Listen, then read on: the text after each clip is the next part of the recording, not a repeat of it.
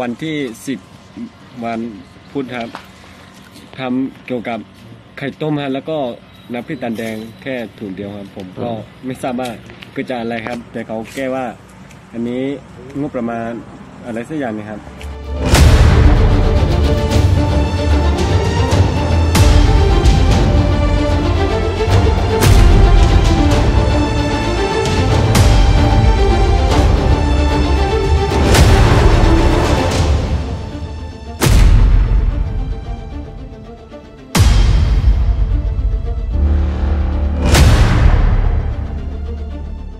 มันมีอาหารแบบนี้บ่อยไหมมีเป็นบางช่วงครับบางช่วงนี้ก็ถ้ามีผู้หลักผู้ใหญ่มาก็อาหารจะดีหน่อยครับอืมครับ แล้วก็ดูเมื่อเมื่อวันที่สี่นี้ผมก็ผมก็ไม่อิ่มครับอืมคนน่าจะไม่อิ่มครับสงสารลูกน้องด้วยครับ อืม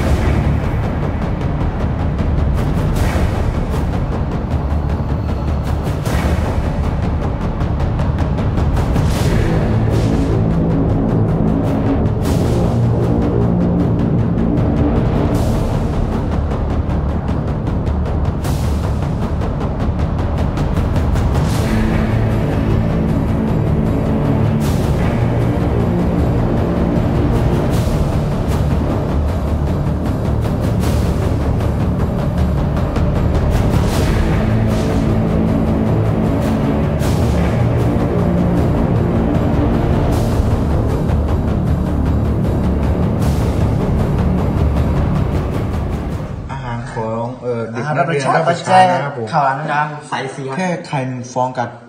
น้ำพริกตาแดงนะครับ เป็นอะไรที่พวกผมท้อกันเลยนะครับ เรื่องสีฟ้าบ่เรื่เสียมนะเรื่เสียมนะ